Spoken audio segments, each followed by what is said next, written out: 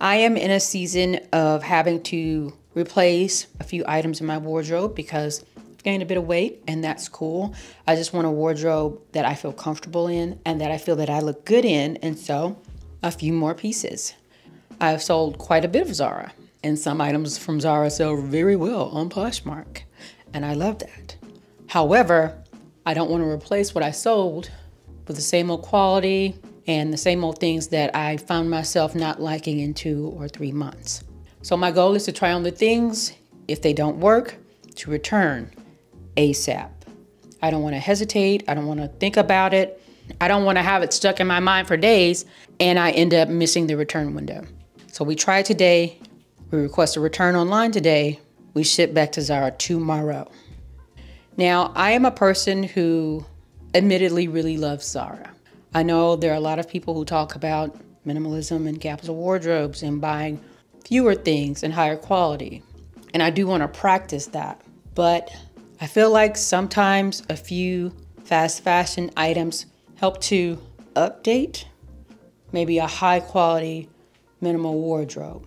So your capsule or your minimal wardrobe or your high quality pieces don't look like a moment in time, like you were stuck in the 80s or the 90s or the early 2000s, unless, you know, that's what you're going for.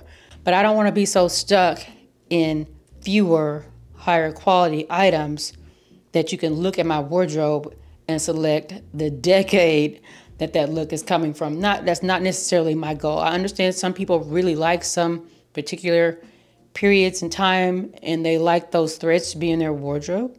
But I do believe your wardrobe can get a little stale if you don't have an eye towards trends.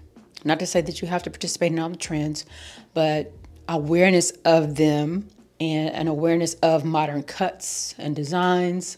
This will allow you to cultivate your wardrobe so you have that balance of high quality pieces that will stand the test of time and a bit of a modern edge. So on the rack, I have one shirt and three dresses and one jumpsuit. After steaming these items, I'm a little doubtful that they're gonna work and I anticipate that I'll return the majority of this. And if that's the case, I may take a break from Zara Online and may opt to purchase in store. I have to say, once I purchase something in store, if it's from a fast fashion brand or a mall brand, I'm more likely to keep it because I've had a chance to look at it in person, feel the quality, try it on. And sometimes with your online orders, you don't necessarily get what you anticipated. And there's one dress on this rack in particular that I already feel like I'm a bit disappointed with, but let's try it on. So dress one, dress one, here it is in an extra large. I purchased the large and the extra large. The one I thought I tried on first was the large. It was not, so I'm not even gonna embarrass myself by trying to squeeze into that sausage casing. So I do believe that this dress will require shapewear in order to have the effect that I want. I like the neckline. I have a short sleeve dress that's similar, but why not have the option to have a short sleeve version, a long sleeve version. The shoes are J. Crew, many years old. I thought about selling because the heel height is really high for me right now, but I just decided to keep them there. They're too good to let go. But they are definitely Carter curb shoes, not walk around the venue trying to look cute.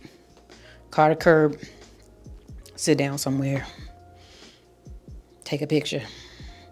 That's it. Okay, dress one. I was so ready to hate this damn dress. So ready to hate it. And let me tell you why. It is designed well. I have to say, I love the cut of it. It seems to be 50s inspired, which is a decade that I love to draw fashion inspiration from. I think this is something that maybe if it was floral or a solid color, my great grandmother would love to wear, and she is my style icon to this day. But let's get into the issues with this dress. It is, I would say paper thin, but no, it's paper towel thin. Taco Bell napkin, taking the plies apart thin. It is ridiculously delicate and thin, and it's supposed to be cotton. I would love everything about this dress if it was a heavier weight cotton. For example, there was a dress that I purchased from a Target collection that is a similar cut. It is such a vibrant color and such a quality heavyweight cotton or midweight cotton. Let me go find that one. This one. This is a Target dress. This is a Zara dress. The quality cannot compare. The tag is Alexis, I believe. I wasn't familiar with the designer before the collaboration, but I love the color of this dress and the quality is amazing. The one I have on, not so much. Now, another reason that I'm so mad at this dress is how they got me was the doggone thing has pockets. How how dare they? How dare you, Zara, with these damn pockets? I'm so mad. I love it. I love the look. I don't know where I'm going in a animal print dress. It is so thin that it makes me angry. I am wearing a half slip and a black ribbed cami from H&M. It requires good foundation garments, just like the first dress. I am more open to wearing a half slip than shapewear any day. I could wear a half slip every day, half slip and cami. Now, would I be wearing heels like this every day? Absolutely not. And where would I wear this dress? I would definitely wear it on a vacation, a night out, going to brunch, a shower of some sort, baby engagement, wedding, all, all, the, all the things. I would wear it. I was sure that this was the piece that was going to go back immediately. Get, get, get your stuff, get, get your return information and get on out of here. But it looks like this one is, it's gonna stay.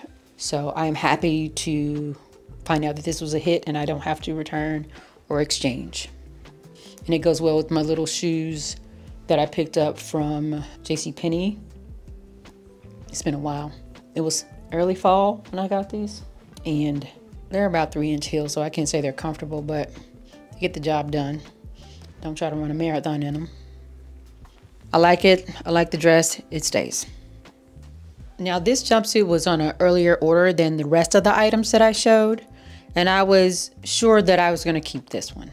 But after inspection, I don't like how the stitching is done in the midsection. It's really off. I don't know if you can see it on this side here, here.